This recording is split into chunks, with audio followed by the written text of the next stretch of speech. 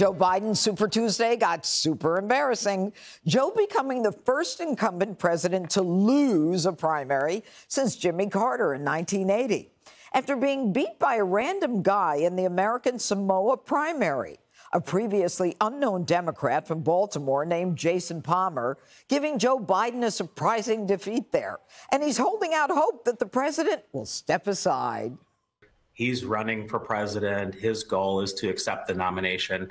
But I hold out a small chance that Joe Biden actually wants to be remembered like George Washington, that he knew when it was time to pass the torch to the next generation. Biden also getting embarrassed by that, quote, uncommitted protest vote again after it drew hundreds of thousands of votes away from him. All right, to you, Jesse. This guy, Jason Palmer, will be on your show tonight.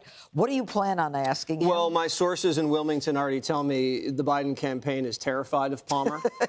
and the fact that Michelle Obama allegedly is no longer an yeah. option at the convention, he's now the second guy that they're considering replacing Joe Biden with if he and trips Dean and falls Phillips and hits dropped his head. out. I mean, this guy no is one. just surging mm-hmm. at a level we've never seen before. Ripped through American Samoa like a wildfire. Apparently, got 50 votes in an island of 40,000. So the sky is the limit for Palmer, and I will be asking him who he plans on making his, his vice president tonight. Okay, Dana, get this. Palmer hadn't even visited America Samoa during the campaign. He virtually campaigned via Zoom and still defeated Biden. How embarrassing is this for Biden? It made me think that our campaign to make Harold Ford the mayor of Could New work. York City is absolutely going to work because we can do a lot more than that.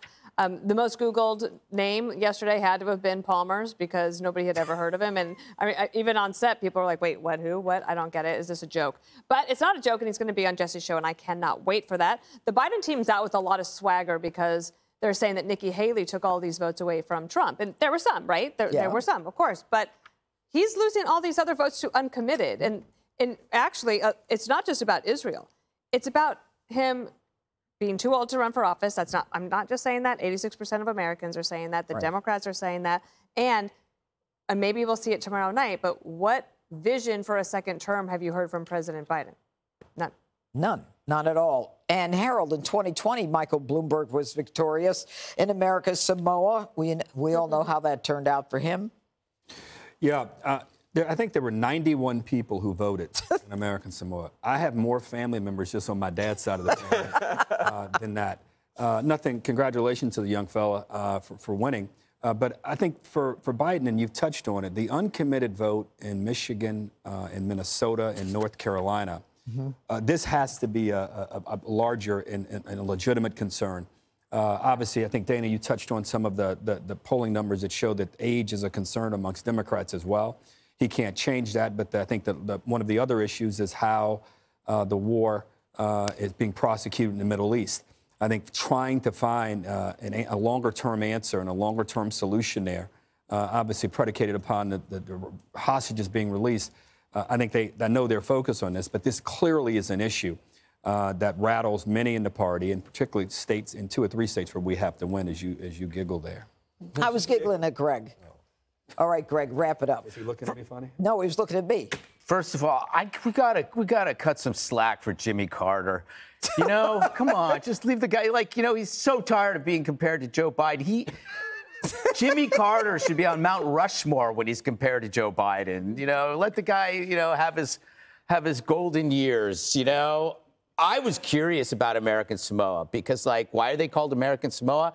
I don't know. It turns out you can't own land if you're not a citizen of American Samoa. That doesn't sound very American to me, right? So I was, because I was looking at real estate. You can rent a four-bedroom uh, in Taipei for 3,800 a month, and a three-bedroom home for 340,000 dollars.